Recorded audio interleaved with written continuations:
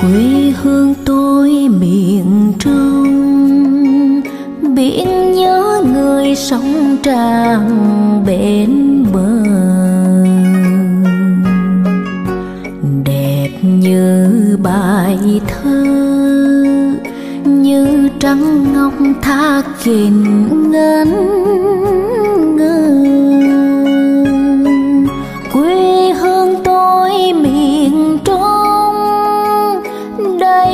hương sơn một giây.